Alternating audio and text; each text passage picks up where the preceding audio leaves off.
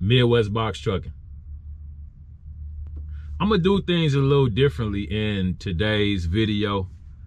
I kind of want to do a reaction to another content creator's video that I was watching. And this topic keeps coming up in the space. I've heard it not from one, not from two, not from three, but multiple different content creators touch on this topic. And like I said, I was just watching another content creator who goes by the name of Big Ward, the genius. And the title to his video was Good Guys Have to Wait, not Pookie. And this is some of what he was touching on in his particular video. And what he was saying, just the gist of a portion of it, was that he was dating a woman and attempting to escalate. He had already talked to the woman and they had established that they both had cuddy buddies or individuals that they could get up with swing by, woo wop the bam, and then they gone.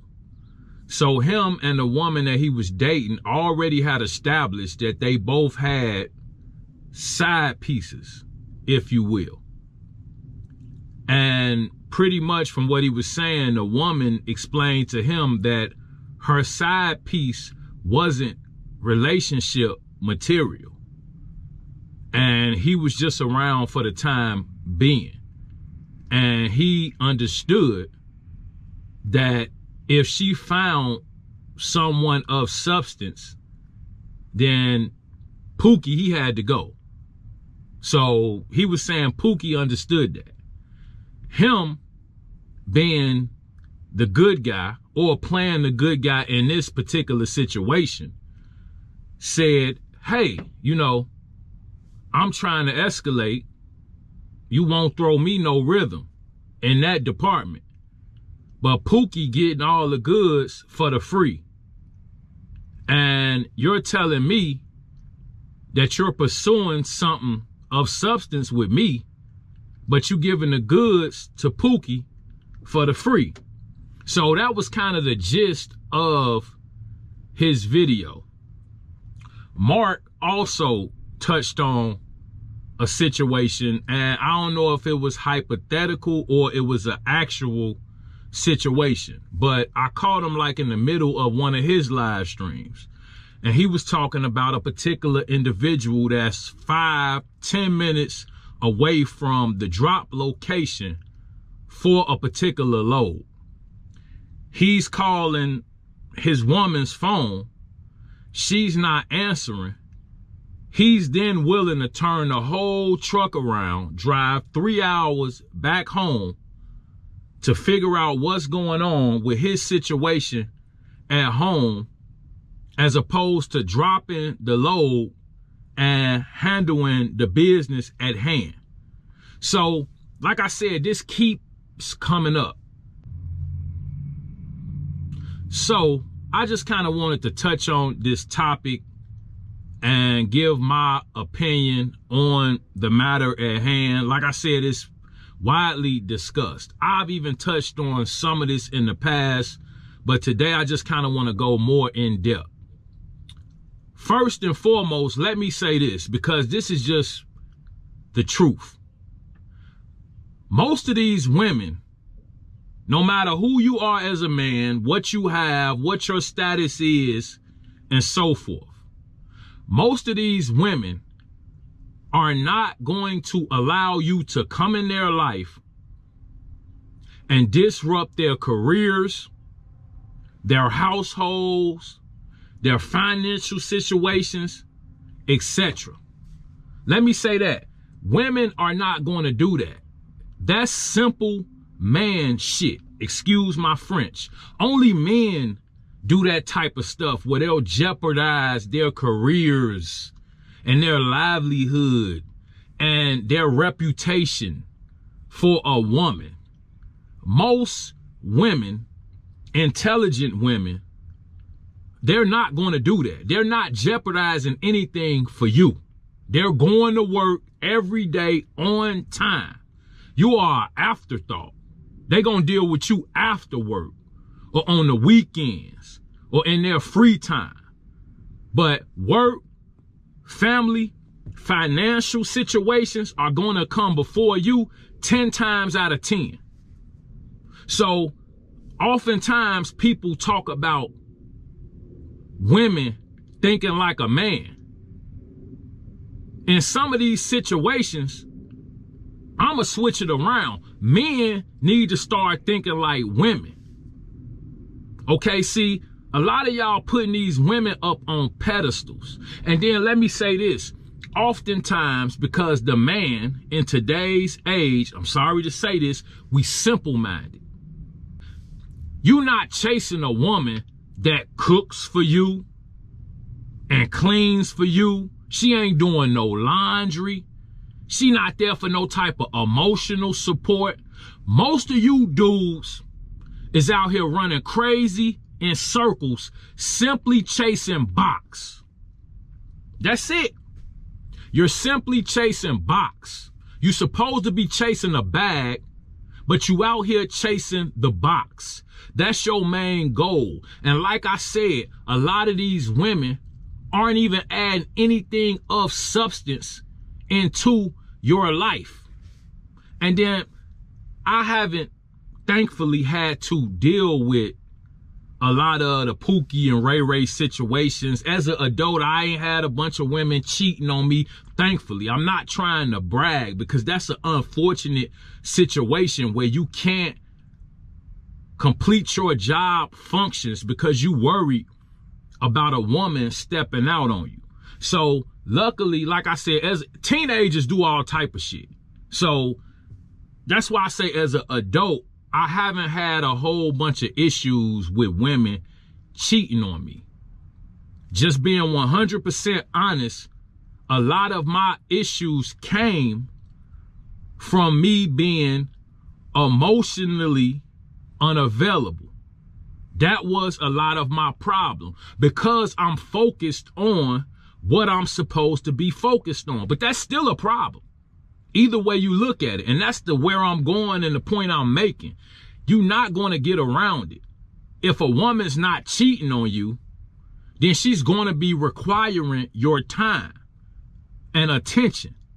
And that's kind of been my issue. You know, tunnel vision and pretty much me being emotionally and a lot of times physically unavailable because I'm in the truck chasing a bag trying to build a business and so forth. But you see all different type of situations. Some guys, they can't leave more than two or three hours from home because they constantly worried about who? Tyrone. And I'm not being comical. I'm just being 100% honest. So some men are dealing with women that don't really care for them. They don't really like them. Because a woman is going to want one or two things from you. Sometimes maybe both. But it's either going to be emotional and physical support or financial support. It's usually one or the other or both. And if a woman is using you for financial support, then nine times out of 10, it's a Pookie or a Tyrone around and she don't really care about your time. But in other situations, because it's men out here that do have women that care about or love them, then your issue is going to be providing the woman with the, like I said, emotional and physical support that they require. And all women require this. So that's kind of the point I'm making you're going to lose one way or another. So that comes to this point. Everybody kind of has to analyze their situation and see what cards they're actually dealing with. My advice to a younger guy under 30, 35 years old, I would say if you running a trucking company and you're building your business, trying to be successful, don't commit to a woman. If you don't already have kids, you aren't already married or seriously involved, don't commit to a woman. Be 100% honest with them and tell them, hey, I'm out here, I'm chasing my bag, I'm chasing my dreams. This is what it is right now. If you could fit into the equation, then that's what it's going to be. If not, I'm going to have to get with you later. But I'd rather keep it real and not string you along and have you thinking that I'm going to be here at your every beck and call. You're going to have to keep it real with these women. So that's what, for the younger guys, I would do. Be single. Deal with who you're going to deal with when you can have time to deal with them because the business is going to take a bunch of your time. So you got to understand that. And you don't want to lead people on and give them false hope. Hey, we going here. Hey, we going to do this. Hey, we going to do that. You might not be doing nothing. The truck could break down, situations could arise, you could lose drivers and so forth. A bunch of different things happen that may cause you to have to be in the truck. So you got to understand you can't be out here making all these promises and vacations and so forth. So, like I said, my advice to a younger individual, just be single. Keep it real with these women and get your money. Keep grinding. That's all I could tell you. Now, you also have another class of individuals. Individuals start these trucking companies at 40, 50 plus years old. And this is not a slight to them. You know, get it how you live. I understand. But your situation may not be the same as an individual in their 20s or 30s because you probably already have certain things set in place that aren't able to be moved around to support your business. So you may have a wife, you may have kids, you may have different things that have to be tended to outside of the business. You can't just go balls to the wall, pedal to the metal, and chase the money. You have to have some type of balance. So for you, this is something that I talked about in another video. I would suggest finding the right balance because I can't tell an individual that's 45 years old with a 20 year old that's in college and a wife and so forth that, hey, just go out on the road, forget your family, forget about every, you're going to make money, but you're going to destroy your personal life. And eventually problems in your personal life are going to prevent you from making money. So you could approach things like that, but I'm actually in a truck. So I understand balance with business and then lifestyle. So like I said, for an older individual, you're going to have to find that fine line, if you will, on what works and what doesn't. You may have to set a schedule and so forth. But if you already have somebody, like I said, set in stone and a foundation with that person, then you have to be considerate. I'm not going to tell you to just go over the road, leave your family, because your family and because your family and things of that nature probably were there before the business. So they're going to take some type of priority. But like I said, with the younger guys, you can get it and don't get yourself into that particular situation. And then that's something that you don't have to worry about.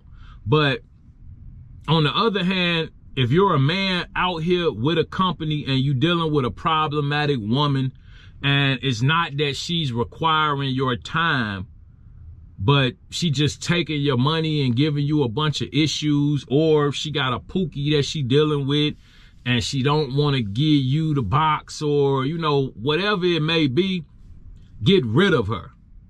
That would be my advice to you. And I know it's rough. A lot of individuals struggle with detachment and letting go. But my thing is you're not going to survive out here on a day-to-day basis if your head is not in the right place. So you better off cutting that particular individual off and not worrying about whatever they make. Go out and build yourself up. Hit the gym, make your money, take care of your truck, build your business. The right people gonna fall into place. A lot of times guys are chasing women of no substance anyway. She not cooking, she not cleaning, she not doing no laundry, none of that. She simply giving you a time when you could swing by, do the little thing thing, and then that's that. And half of the time, she ain't even letting you do that. From what I'm hearing in a lot of these situations. And like I said, it's unfortunate, but it's no way I'm going to be chasing a woman around like the homie Big Ward was saying. I'm dating a woman, chasing her around, trying to escalate the situation. And she didn't already inform me that she giving up what I'm chasing to somebody else for free. No. And he did the right thing, cut her off. Not only cut off, nobody remember phone numbers no more. You really want to get rid of somebody nowadays, delete the whole phone number. Out your phone. You can't call her. How you gonna call her if you don't got her number no more? Delete the social medias. You know, don't don't don't don't go in and watching those stories. Get rid of all of that. You need to be focused on the money because with the money and you being dedicated and you working on yourself, the right woman gonna come, bro. And that's all I could tell you. The right woman gonna come. Right now, you worried about the wrong thing. You need to be worried about building your business. The right woman is gonna see the potential in you. Everybody ain't gonna see the vision. But eventually they will. You just gotta keep grinding. That's my advice to anybody that's going through issues on the home front as far as their trucking company and a woman. Because like I said, it keeps coming up over and over and over. I hear different scenarios. And like I said, each individual situation is different. Cause you got a guy, he either being cheated on, and I hear that a lot, but that's not always the case. Some relationships break up because the man is emotionally unavailable and emotionally detached because he's focused on what he should be focused on. But women require attention. So it don't mix together. You they want you to have some type of balance. That's why I said don't go out here make all these promises when you know you need to be in this truck. If you got four or five drivers, two or three backups, and you hardly ever gonna have to jump in the truck, then go out on vacation and do what you gonna do. But if you know that you gotta be the individual that's making it happen on a day-to-day basis, then don't go out and get yourself involved in all these committed relationships. You know, you thinking you a pimp, but you operating like a simp. You see what I'm saying? You got a bunch of women, but they controlling you. You not controlling them. See, so that's the issue at hand. It's not the quantity, it's the quality. So that's the point I'm going to leave you guys with today. I ain't going to dwell too much, but I did want to touch on and react to the homie Big Ward's video. And y'all go check him out. Subscribe to the channel. He dropped some really dope content over there. I just caught on to him maybe in the last month or two. But in a way, he kind of remind me of myself. And then, like I said, he drops some dope content. He touches on a lot of different situations pertaining to life. And yeah, I was watching that video and I'm like, man, I got to do a reaction to this because uh, I've touched on it in the past. Guys dating out of their league, paying to play, And those situations hardly ever turn out well. Like, man, get you somebody that's for you. And if you got to go out and buy some expensive car or lavish vacations or all this different types of drip and y'all at the Gucci and Fendi, like all that shit is superficial. It means nothing at the end of the day. Stability is what matters. You got individual that got all type of drip, riding nice cars and don't got a dime in their pocket. So that nice car that Buddy riding in could be the same reason why he broke. It's a liability as opposed to an asset. So stop getting y'all yourselves into these weird situations trying to impress these women. If you focus on the right thing, the right woman is going to come. When you try hard, you end up attracting the wrong type of individuals. And that becomes more of a distraction than anything. So with that being said, you guys stay safe out there. Take it easy and have a good one. Appreciate you.